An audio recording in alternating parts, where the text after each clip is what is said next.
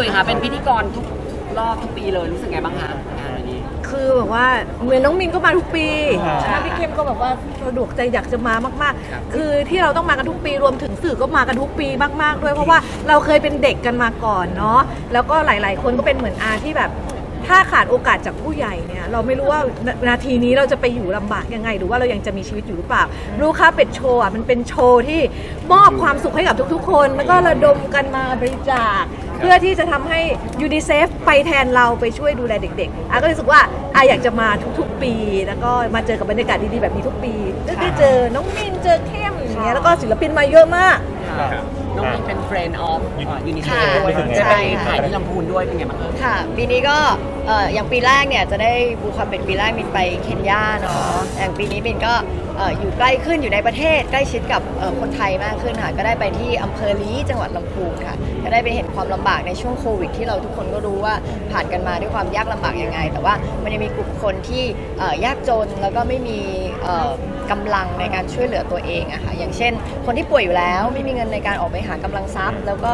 ยังขาดในเรื่องของออกซิเจน ป่วยแล้วด้วย แล้วก็หายใจเองไม่ได้ด้วย ก็เลยจะมีเรื่องของการบริจาคเครื่องผลิตออกซิเจน ขึ้นมาค่ะที่ทางยูนิเซฟบริจาคให้กับองค์กรต่างๆ ที่เป็นพันธมิตรของเราอาดีใจมากสำหรับหนังสั้นของน้องมินทุกคนต้องดูนะคะ เพราะว่าบางทีอะอาเคยสงสัยว่าเราอะไปจัดให้ยูนิเซฟยูนิเซฟยูนิเซฟไปให้เด็กทั่วโลก แล้วคนไทยล่ะยูนิเซฟช่วยอะไรเราหรือเปล่าใช่หนังของพี่มินเนี่ยจะทำให้เราเห็นว่าประเทศไทยของเราก็ได้รับความช่วยเหลือจากยูนิเซฟด้วยค่ะแล้วไม่ใช่ช่วยแค่เด็กนะ ช่วยชีวิตคนป่วยที่เป็นผู้ใหญ่ใช่ค่ะขอบคุณที่แบบลำบากลำบนไปถ่ายมาให้เออพวกเราลุยมาเข้มก็กถ่ายด้วยอะของเข้มได้อีกหนึ่งเรื่องของพี่เข้มก็อีกครัเรื่บองเข้มก็จะเหมือนกับมาถ่ายทอดอีกมุมหนึ่งนะครับผมของที่มาลาวีครับผมในในทวีปของแอฟริกานะ ครับผมให้ได้เห็นถึงมุมต่างๆ ที่เด็กๆเขาต้องการหรือว่าขาดแคลนในเรื่องของสารอาหารต่างๆครับพี่เข้มเห็นแบบวิดีโอใจสั่นเลยไหมเห็นเขาบ้างลำบากคือคือจแค่ไหนริงๆเนี่ยเข้มเล่าเลยก่อนหน้านี้เนี่ยเข้มก็มารับโทรศัพท์เราก็จะได้เห็นมุมต่างๆ เกือบจะทั่วโลกนั่นแหละครับแล้วก็มาพอมาเห็นในเอ่อมาลาวีเราก็จะเห็นมุมที่เด็กเขาขาดสารอาหารบางบางบางคนเนี่ยก็ถึงขั้นเสียชีวิตเลย เสียชีวิตเพราะไม่มีอาหารจะกินใช่นะพวกเราคงไม่รู้หรอกว่าเป็นยังไง แต่ใช่วิดีโอของพี่เข้มอาจจะทำให้เห็น ใช่ครับผมก็เป็นอีกหนึ่งวิดีโอที่จะทำให้ทุกคนเนี่ยได้ร่วมกันทำบุญ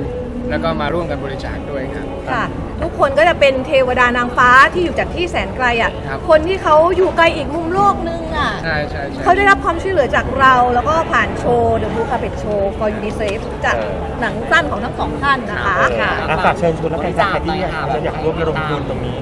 ค่ะ ก็สำหรับมินก็ฝากเชิญชวนทุกคนนะคะ มาร่วมเป็นผู้บริจาครายเดือน หรือบริจาคเท่าที่ท่านมีกำลังก็ได้ค่ะ ให้กับองค์กรยูนิเซฟเพื่อสามารถส่งต่อความช่วยเหลือให้กับทุกๆ คนในภาวะฉุกเฉิน ซึ่งก็อาจเกิดขึ้นได้ในทุกๆ วินาทีนะคะหารออกมาก็แค่วันละตกวันละ 17 บาทเท่านั้นนะคะ ซึ่งเงินอาจจะดูเป็นจำนวนที่เล็กน้อย แต่สามารถสร้างปฏิการปาฏิหาริย์ให้กับหลายชีวิตได้เลยนะคะผู้บริจาครายเดือนมีข้อดีหลายอย่างเพื่อนอาเนี่ยต้องการจะลดความอ้วน แล้วก็ คือลดการบริโภคอะไรที่แบบเป็นขนมจุ๊บจิ๊บอะ 17 บาท รายเดือนเดือนละ 500 บาท ตัวเองก็ได้หุ่นดีขึ้นนะ แล้วก็ได้ช่วยเด็กๆ อีกเยอะ แบบรายเดือนนะเอาว่าดีนะอ๋อสุขภาพดีด้วยนะสุขภาพมันจะดีด้วยดีดีครับผมก็อยากจะขอเชิญชวนนะครับ ผมทุกๆท่านเลยนะครับ ผมมาร่วมทำบุญกับยูนิเซฟนะครับ ผมยังมีอีกหลายประเทศเด็ก ๆ อีกหลายประเทศทั่วโลกเลยนะครับ ผมที่กำลังรอคอยให้ทุกท่านมาช่วยเหลือครับ